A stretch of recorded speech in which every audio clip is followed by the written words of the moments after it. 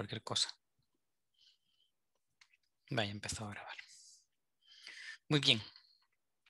Comencemos por el principio.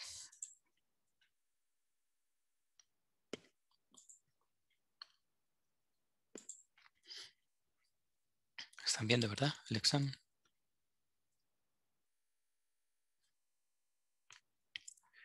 Para el, digamos que lo que pueden adelantar es todo hasta el punto número 8, ¿ok? Del 8 al 10 lo pueden practicar ahí en la encuesta todo lo que quieran y ya luego se hace propiamente el, día. Pero si ahora tienen alguna duda de eso, con mucho gusto lo podemos revisar. ¿Ok? Y veamos, punto número uno. ¿Lo han intentado hacer? ¿Han subido? Yo lo estaba ah, intentando descargar, este, pero solo me entró la duda si todos le íbamos a poner con separador, punto y coma. Sí, sobre todo las enfermedades, lo que pasa es que algunas tienen comas. Por ejemplo, vamos a ver si por aquí tenemos alguna con coma. Para que vean lo que sucede. En este no. Vamos a ver otro.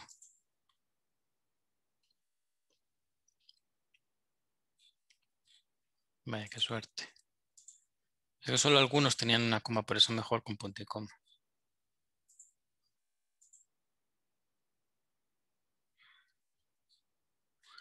Bueno, la cosa es que si tuviera una comita por aquí en medio y yo le pongo la coma, él me va a dejar dos columnas. Y eso no me interesa. Me interesa que en este momento las enfermedades aparezcan todas en una sola.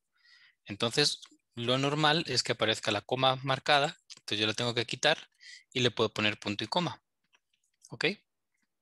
definitivamente lo que no debo poner es un espacio, porque entonces por cada espacio que encuentre entre las palabras va a crear una columna y no me va a servir. ¿Sí? Así que le puedo dejar tabulador, punto y coma, lo que quiera, menos la coma y el espacio, porque eso sí necesito que, que se consideren parte de la cadena. Y cuando pues la abro, pues el solito. Lo que tengo que hacer obviamente es abrir, abrir una en un lado, abrir otra, puso por aquí atrás, aceptar, copiarlo en la, en la otra y agregar otra, otra hojita. Y ya. Punto número uno, chao.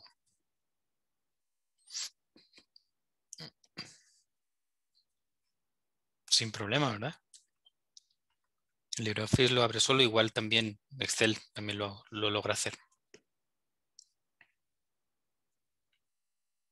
¿Alguna dudilla con respecto a ese punto? No si abran los micrófonos ahí no hay problema. No, ya al descargarlos en, el formato, este, ponerle punto y coma, no, ahí estamos bien. Chévere, muy bien. Ok, con el punto número dos. ¿Qué? Crear una lista de selección. Y les pongo entre comillas cómo se tiene que crear. Mediante la función validez. ¿Alguno de ustedes lo ha intentado hacer? No, no. Vale, tienen, revisen el video de, la, de la clase de LibreOffice, ¿vale? Para que vean cómo se hace, pero por cualquier cosa, pongamos uno nuevo para no usar los mismos ejemplos del examen. Tengo esta hoja y le digo, le pongo unos valores, rojo, azul, amarillo, blanco. ¿Ok?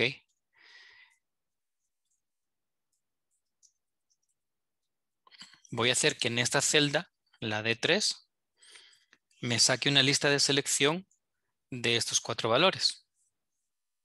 ¿Sí?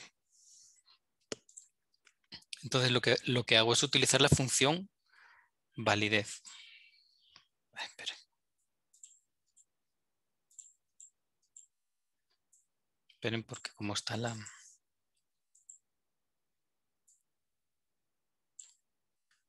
Voy a hacer un poquito ventana porque el, el cuadro de comandos de Zoom se,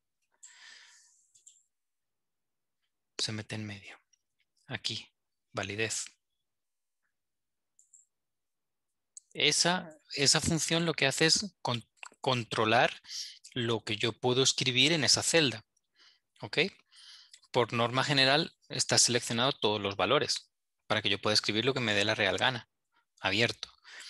Pero si yo quiero restringir a los valores que están en una serie de celdas, le voy a seleccionar intervalo de celdas. Aquí pueden ver un montón de, de posibilidades de control de entrada, ¿vale? Vamos a seleccionar intervalo de entradas, de celdas, y él me dice, bueno, ¿y cuáles celdas? Se las puedo poner yo a mano, o le puedo dar a este botoncito, chiquitín, aquí, y le digo, papillo, estas quiero. Como pueden ver, él automáticamente recoge el nombre de la hoja y el nombre de las celdas, y ya de una vez les pone el dólar, o sea, las deja bloqueadas, para que cuando yo arrastre no se, no se muevan esos valores. Una vez que yo las tengo ya, vuelvo a pulsar el botoncito, le digo aceptar. Entonces, como pueden ver, sale automáticamente una lista de selección, donde yo puedo escoger cualquiera de esos valores. Si tengo varias, varias filas, yo puedo arrastrar esto, ¿ok? Espérenme. Y el solito copia el formato. En este caso, pues le ha copiado el valor también, pero yo siempre voy a poder utilizar la lista de selección. ¿Sí? Si copio el formato. ¿Ven que le copia el formato con, con la, el simbolito de copiar el formatito? ahí sí no me copia el valor, sino que me copia solo el formato que incluye la validez, la validación. ¿Sí? Entonces ustedes tienen 10 personas, o no, perdón, 15 personas y 10 enfermedades. Entonces la idea es que ustedes agarren, hagan una lista de validación de las enfermedades y le pongan la enfermedad que tiene cada persona. Entonces, por supuesto, va a haber algunas repeticiones. ¿Sí?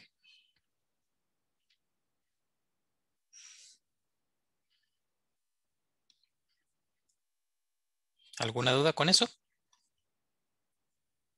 En este caso, eh, digamos, en el archivo que tenemos las personas, debemos copiar a la par en la columna B las enfermedades. O sí, ahí las pasamos y, ahí mismo hacemos la... No, tendrías eh, las personas en una hoja, ¿ok? Ajá. Son sus personas y aquí tendría las, enfermedades en otra hoja. ¿Sí? Para seguir acorde a lo que menciona entonces ese punto, tendría que ser que en la hoja 1 estén las personas y en la hoja 2 estén las enfermedades, ¿verdad? Así es. Ok. Si le das la vuelta, pues solo te acordás de que donde pone hoja 1, pues tiene que ser la hoja Ajá, que como la pregunta, por ejemplo, dice que poner la, o sea, poner la lista de selección de validez en las celdas de la columna B de la hoja 1 a partir de los valores de la hoja 2. Entonces tendría que ser una, una los nombres en la hoja 2 las enfermedades. Sí, aunque si alguien lo hace al revés no importa. Ok. no importa. No vaya a ser. no, no, no, no pasa nada. Ok, perfecto. Igual también uno podría pensarlo de, de, de la otra manera, ¿verdad? Para una enfermedad dada, ¿qué, ¿qué persona lo tiene? Y le salen toda la lista de las personas. ¿Sí? Pero básicamente se trata de eso. En, e, el caso, en ese caso yo me pongo en la celda esta, le digo datos validez, perdón porque otra vez se mete en medio el, chinche del zoom. Datos validez y aquí le selecciono el intervalo de celdas, le doy el botoncito para seleccionar y como está en la otra hoja, le voy a pulsar en la otra hoja y voy a seleccionar las celdas que tienen las enfermedades. ¿Ya? Súper fácil. Solo hay que acordarse que está ahí, en datos, validez.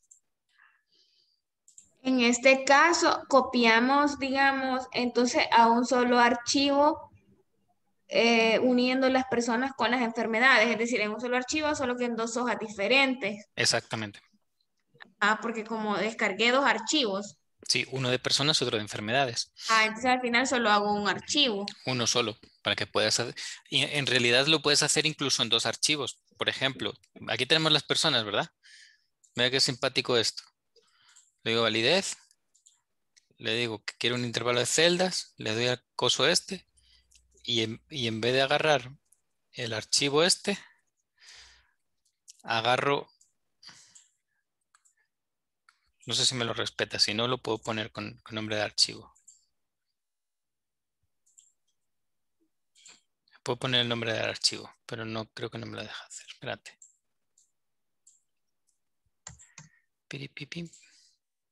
Sí, no.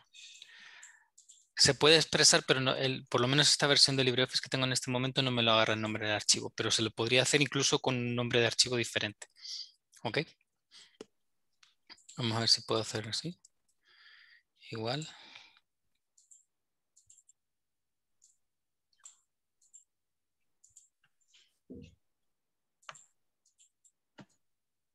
Sí, con esta versión me da, me da problemilla, pero bueno. La otra versión que tengo se me deja hacer referencias entre archivitos. Ahí. No sé por qué este no me deja. Ven que ponéis file, no sé qué leche. Súper grande.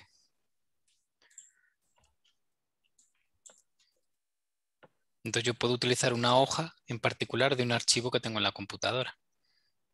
¿Sí? Y se hace un vínculo.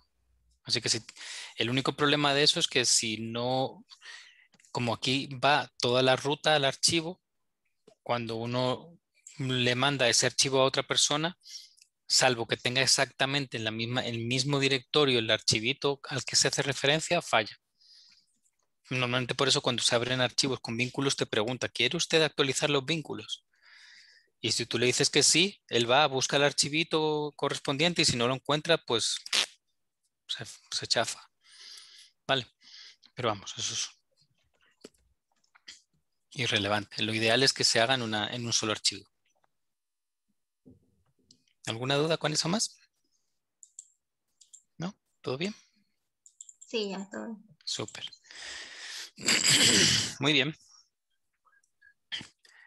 Eh, aquí dice el, número 3, que se cuenten la cantidad de veces que se repite el valor de la columna A en la columna B. Eso en el video lo, lo expliqué con una función que se llama contar si conjunto. ¿Sí? ¿La han usado antes? ¿Saben a qué me refiero? Le entiendo como a qué se refiere la función, pero no recuerdo haberla usado. Vale, pues imagínate esta hoja que tengo aquí. Imagino que es la frecuencia, básicamente. Algo así. En este caso aquí, eh, en vez de tener dos hojas, tengo una sola, ¿vale? Pero yo aquí tengo como un conjunto de categorías. Para el caso del examen serían las enfermedades. Y aquí tengo una serie de elementos que tienen una de esas categorías. Entonces yo quiero saber cuántas veces se repite rojo eh, en este grupo. Cuántas veces se repite azul, cuántas veces se repite amarillo, cuántas veces se repite blanco. ¿va? ¿Ok? Entonces puedo usar esa función que se llama contar si conjunto. Punto sí, punto conjunto. ¿Ok? Y me dice, ¿Qué intervalo querés contar? Estas celdas. Aquí es donde están los valores. Y luego, ¿cuál es el criterio con el que voy a contar? Y digo, bueno, quiero que me, y que me todos aquellos que tengan el valor igual a rojo. Cierro paréntesis. Y me dice 1. Cierto. 1. Aquí es donde hay una cosa que tienen que tener siempre mucho cuidado. Lo típico es que diga, ah, lo resolví para esta celda, arrastro y me va a funcionar. El problema es que si hago eso, es no va a cambiar el color. El problema con eso, el color sí va a cambiar, pero él automáticamente también va a cambiar las referencias de, las celdas. ¿Ok? El color sí está bien. El primero hace referencia a la 1, perfecto. El segundo hace referencia a la 2, perfecto. Hasta ahí todo, Tuanes, muy bien. Pero ¿qué pasa? Que el primero me va de D3 a D6, que son estos de aquí. El segundo va de D4 a D7, ya se va. ¿Qué es lo que tengo que hacer yo? Bloquear las referencias. ¿Cómo bloqueo? Con el signo dólar. Le bloqueo la, fila, bloqueo la columna de la celda inicial, bloqueo la fila y la columna de la celda final. Ahora sí, una vez que yo ya tengo bloqueado eso, ya puedo hacer el arrastre. Y bingo. ¿Ven? Efectivamente, amarillo tengo dos, eh, rojo, azul uno y blanco no tengo ninguno. Fácil. Es la función contar si conjunto. ¿Ok? ¿Alguna duda? Fácil, ¿verdad? Muy bien. El siguiente es asignar un formato condicional. Y dice que puedo usar color, escala de color de tres entradas o conjunto de iconos. ¿Ok? Eso lo hace solito LibreOffice. Yo solo selecciono el conjunto de datos al que quiero asignarle formato condicional y le digo que le dé formato condicional. Y ya de una vez me dice, ¿qué querés? Escala de colores, barra de datos. Solo tengo que seleccionar uno de los dos, que más me guste. Barra de datos. Aceptar. Ya está. El solito. ¿Ok? Esta barra de datos lo que va a decir es, lo que va a hacer es ver cuál es el que tiene un valor mayor, ver cuál es el que tiene un valor menor y distribuir esa anchura del color azul con el degradadito y eso bonito para que tú visualmente veas cuál es el, cómo se han distribuido los valores. ¿Ok? Lo mismo con el, con el otro formato, solo que ese se colorea con, con un percentil. Formato condicional, escala de colores, y yo le digo cómo va. Sí, eh, esto queda muy bonito cuando uno tiene un montón de datos. Obviamente con tres, pues queda solo rojo, amarillo y verde. Pero cuando tienes muchos valores, pues se ve una, escala. ¿Ok? Se puede hacer, esto es una cosa que se puede hacer tan bonito como uno quiera. ¿Alguna duda con ese?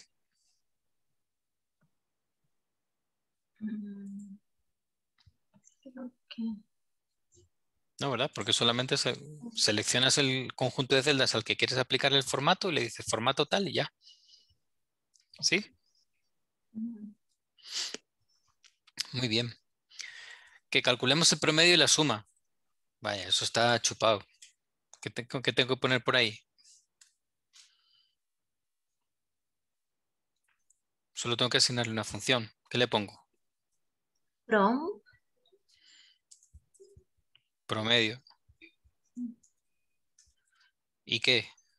Abro paréntesis y selecciono las celdas a las que les quiero calcular el promedio, ¿verdad? Cierro paréntesis y lo calcula y ya. Y lo mismo con la suma. En vez de promedio pongo suma y ya. Solo que en este caso necesito que pongan promedio en una, suma en otra. Ya está. Ese era de regalo. La tabla dinámica. Ese puede tener un poquito más de chiste.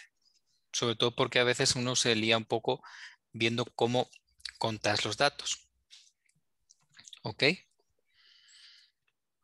En este caso, lo que vamos a hacer es una tabla dinámica con, partiendo de esta información.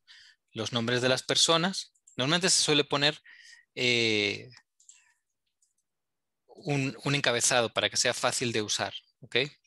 Pongamos un encabezado, sería eh, ítem, color. ¿Ok? Entonces agarro, esto como lo estoy haciendo en esta misma hoja, lo voy a seleccionar para que no se confunda, pero si yo tuviera una sola hoja, no tengo ni que seleccionar, él solito selecciona los datos porque es muy inteligente y sabe lo que yo quiero hacer, generalmente. Pero lo que yo voy a hacer es darle a datos, tabla dinámica, crear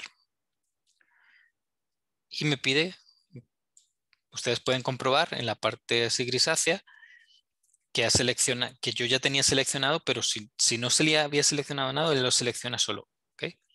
Le doy a aceptar Y aquí es, esto es lo único que es un poco confusito, ¿ok? ¿Qué pongo yo en las filas, qué pongo en las columnas, qué pongo en los datos? Lo reconozco. No es, eh, digamos, muy intuitivo. En este caso, yo lo que quiero es que me cuente, que hagamos una, una especie de contar sí conjunto, pero a través de una tabla dinámica. Yo quiero que me cuente por cada color cuántos, cuánta gente lo tiene.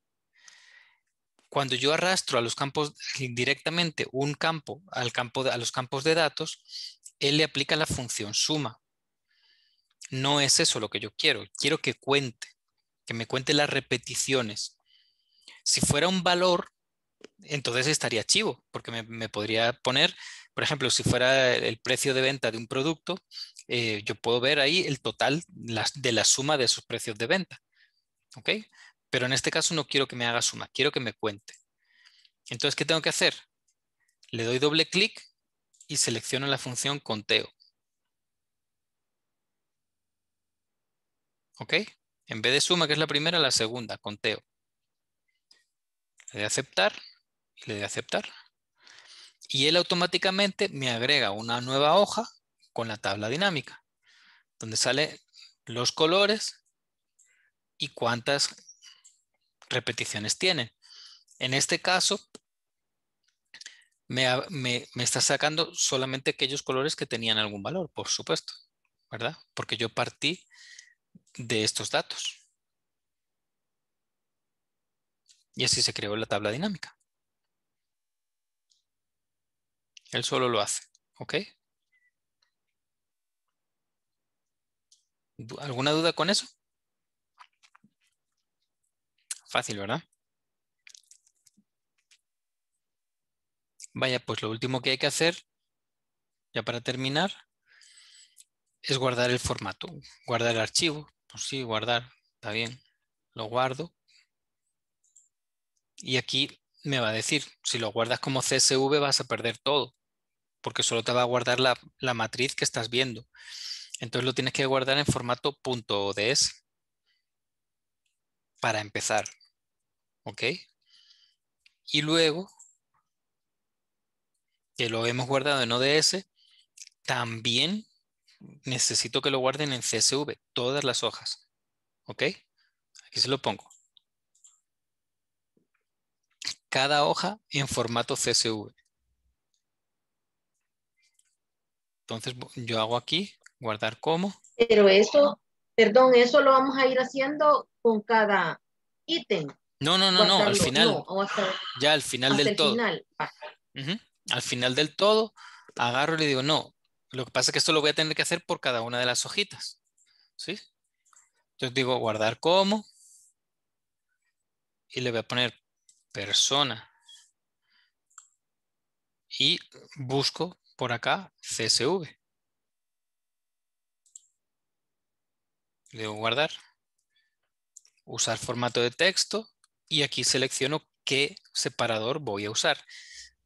Agarren, usen el que ustedes quieran coma, punto y coma. Yo les recomiendo que lo dejen así con punto y coma por aquello de que hay algunas cosas que tienen coma. ¿Ok?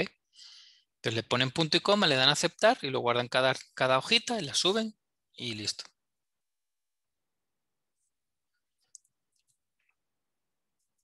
Entonces, si, si tienen chance, por favor, háganlo de aquí al sábado y ya el sábado lo primero que hacen es solo subir los, archivos ya listos, preparados, y se dedican únicamente a hacer el 8, el 9 y el 10,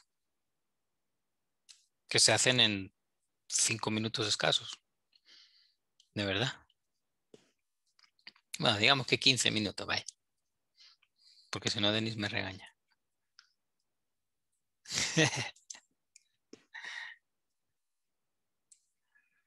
¿Preguntas?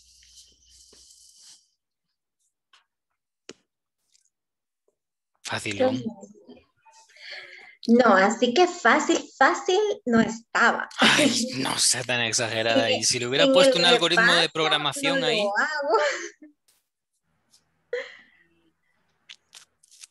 No, lo que pasa es que... la noción de Evelyn. Ajá, sin el repaso creo que no lo hubiera podido hacer el sábado. No, pero lo que pasa es que no habías visto el video de, de la clase. Si Es que visto le juro que solo vi los que, los de la los que programación. digo de programación. No, re- O sea, no me fijé que había uno de libre. Sí, revisa el video para que veas también, porque, como te digo, hay algo, aparte de algunas de estas cosas, hay otras que también están bastante, que creo que les pueden valer, les pueden interesar. Filtrados, subtotales.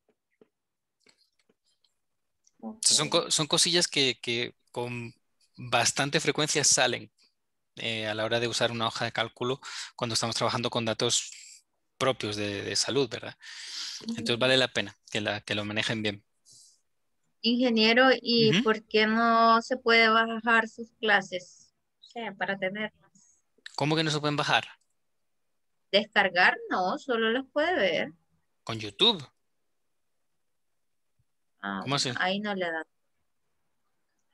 Ahí Es que no le he dado. Es que las clases están en YouTube. Solo busca Ajá. como dónde descargarlas. Ahí sí no las he buscado cómo descargar. O sea, la cosa, sí, porque, bueno, lo que nos han dicho nosotros que lo tenemos que subir a YouTube a piñón, ¿verdad? Ujú, ahí queda. Entonces, lo que yo les recomiendo es que utilicen un programita muy lindo. Vayamos a hacer un, un ejemplo, vale la pena que lo vean. Ay, espere.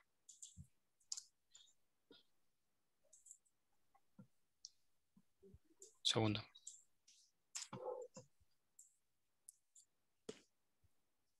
Ok, tenemos la cosa esta, ¿vale?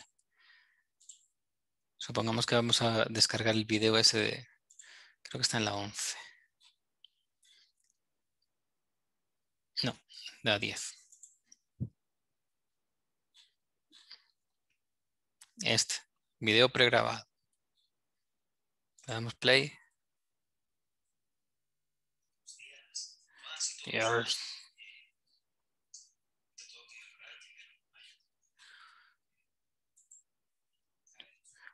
Ve, no, aquí está en YouTube.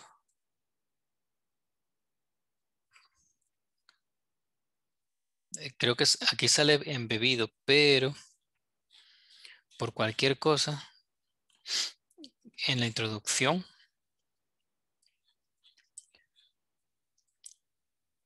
aquí está la, esta lista de reproducción.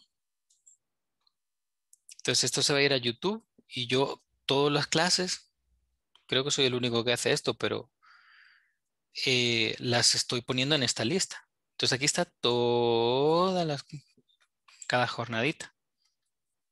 ¿Ok? Entonces si, si yo quiero guard- bajar una, YouTube por defecto no, no, no me, no me da ese chance. Entonces pueden utilizar algún programa que les sirva para descargar de YouTube.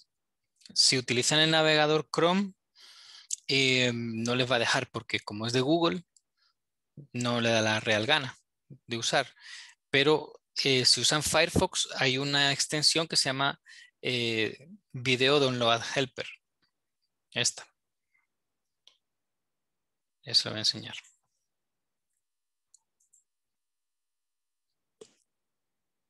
Este. Tiene como tres, boli- tres bolitas y se llama Video Download Helper. ¿Ok? Esa es una. Y la otra, cualquiera que se pone a descargar alguna peliculilla de vez en cuando por ahí de algún lado, todo el mundo utiliza una bonita aplicación que se llama, se la recomiendo muy efusivamente, se llama J-Downloader. Es una maravilla. Es como el abrelatas número uno para bajar cualquier video, imagen, lo que uno quiera. Se lo voy a enseñar.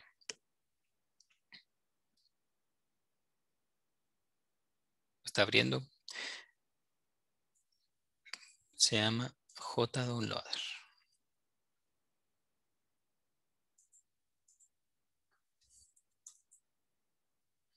Este, JDownloader 2. Es una aplicación libre para cualquier sistema operativo, ¿vale? Aquí seleccionan el que más les guste.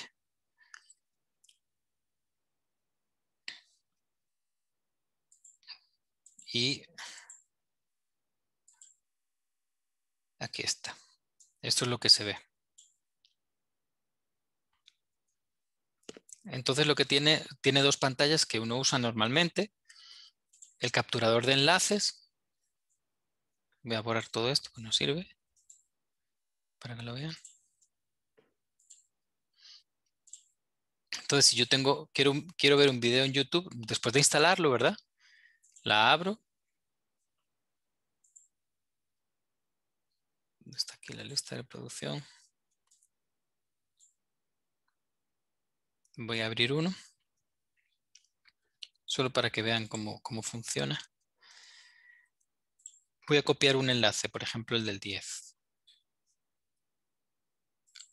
A copiar la dirección del enlace.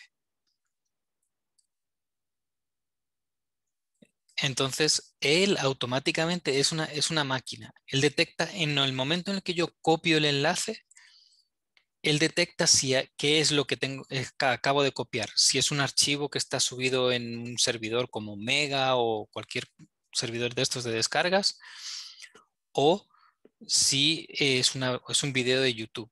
¿Ok? En el caso de, que sea un video de YouTube, voy a volver a hacer, copiar la dirección del enlace,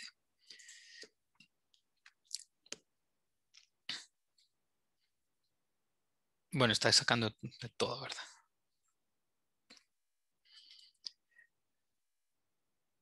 Por cada video pueden ver que hay varias cosas. Eh, tienen los subtítulos, ¿ok? Solo el audio o el archivo de video, que es el, que más, el más grandecito. Entonces yo selecciono el que yo quiero y le doy a añadir iniciar descarga y él te lo descarga. Es una aplicación brutalmente buena. ¿Ok? Pero si no quieren instalar una aplicación como esta, que es un gestor de descargas genérico, como les digo, lo que pueden hacer es instalar una extensión del navegador que se llama ese Video Download Helper. Vamos a ver cómo es. Video Download Helper. Ok, este. Pero, muy importante, en Firefox. Porque en Chrome, cuando ustedes quieran bajar un video de YouTube, él va a decir, lo siento, no puedo. Porque Chrome no les deja. ¿Ok? Entonces tienen que instalarlo en Firefox. Y ahí cuando ustedes están en el video en YouTube, estas chibolitas se activan, le da clic y te dice, quiero bajarlo. Clic y se lo baja.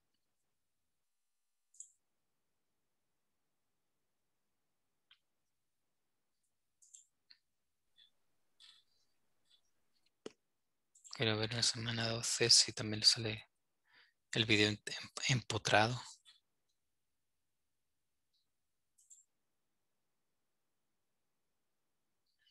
Bien chistoso porque ese del 10 no sé por qué sale empotrado.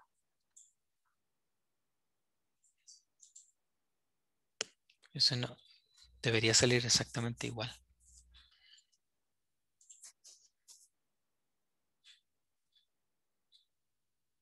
Mm, ya sé.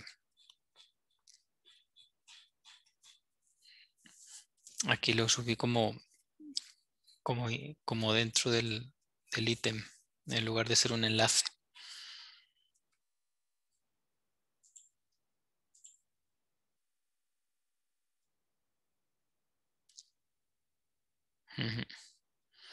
Es que los otros videos los tengo como enlaces.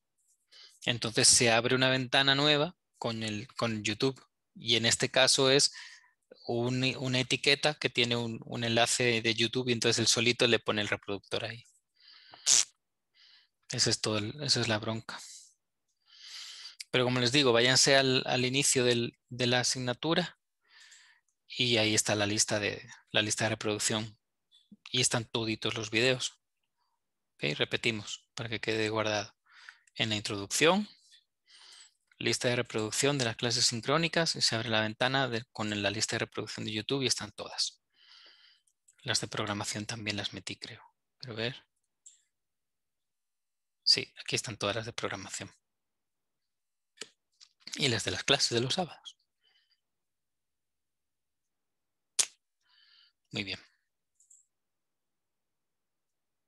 ¿Alguna dudilla más?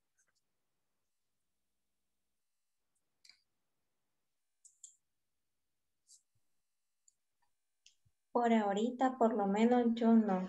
Vale. De aquí hasta que ni modo lo intente ya. Bueno, muy bien. inténtelo y también intenten lo de la encuesta. ¿Sí? Igual todo lo que se está pidiendo en el examen de la encuesta lo hicimos el, día del que, practicamos con el Survey, así que no creo que tengan mayor problema. Pero no, no dejen de preguntar, ¿verdad? Que la idea es que todos se saquen un 10. Yo sé que están muy topados de trabajo y este es el parcial más, digamos, más exigentillo en cosas que hay que hacer, ¿verdad? tareitas, pero, pero tienen que sacar buena nota. Gracias. Bueno, con mucho gusto. Si no hay ninguna duda más, aquí terminamos. Gracias por la asesoría. con mucho gusto, que menos. Un placer. Gracias. Gracias, buenas noches. Feliz noche. Igualmente que descansen. Buenas noches. Feliz noche. Gracias. Chao.